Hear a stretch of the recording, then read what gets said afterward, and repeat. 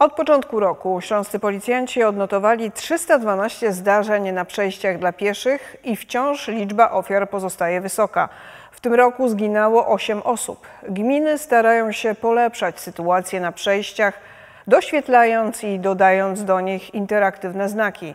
Jednak brawura kierowców i lekceważenie przepisów nie pomagają o czym świadczy potrącenie dwóch chłopców w Rudzie Śląskiej. Wciąż poszukiwany jest kierowca, który uciekł. Karolina Komada. Skrzyżowanie ulic Główny i Bytomskiego w Rudzie Śląskiej. To na tym przejściu we wtorek 16 lipca doszło do potrącenia dwójki dzieci. 11-latka i 8-latka na oznaczonym, wyznaczonym przejściu dla pieszych. E, Na szczęście chłopcy bez obrażeń wrócili do domu. A co najgorsze w tym wszystkim kierowca odjechał z miejsca zdarzenia. Z tego co o, ustaliliśmy, był to czarny sedan.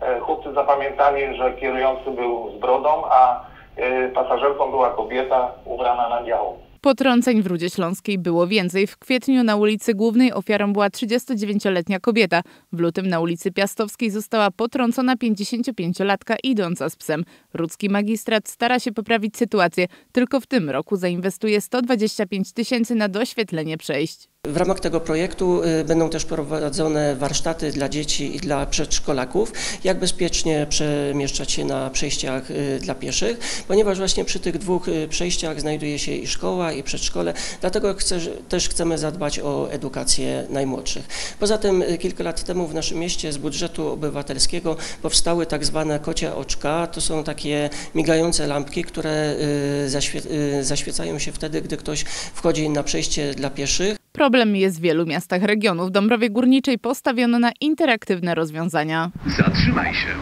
Zachowaj szczególną ostrożność. Upewnij się, czy nikt nie nadjeżdża. W Rybniku zdecydowano się na napisy Stój, patrz, żyj z liczbą osób poszkodowanych w wypadkach przy danych przejściach. Ciekawe rozwiązanie pojawiło się również w Bytomiu. Staramy się stosować innowacyjne oznakowanie tymczasowe. Montujemy przy takich przejściach dla pieszych odblaskowe e, ludziki. To jest takie rozwiązanie, które ma poprawić szczególnie w porze nocnej widoczność przejścia dla pieszych i zmusić kierowcę do zdjęcia nogi z gazu. Bo mimo, że obowiązujące przepisy nakazują kierowcom zatrzymanie się przed przejściem, to policyjne statystyki pokazują lekceważenie prawa. Tylko w tym roku doszło do 312 zdarzeń na przejściach, w których zginęło 8 osób. Choć przepisy stoją po stronie pieszych, to policja i tak apeluje o zachowanie bezpieczeństwa. Najlepiej nawiązać kontakt e, wzrokowy z kierowcą, wtedy wiemy, że on nas widzi. E, Ja jako policjant przechodząc przez przejście nie wchodzę na przejście, póki nie widzę, że kierowca się nie zatrzyma do końca. E, Zawsze jest e, moment, że na przykład kierowca może być zamyślony, e, skupi się na czymś innym i nas nie zauważy. Policja apeluje o zachowanie ostrożności przy przejściach, a funkcjonariusze z Rudy Śląskiej wciąż poszukują kierowcy, który jadąc czarnym sedanem we wtorek 16 lipca potrącił nieletnich.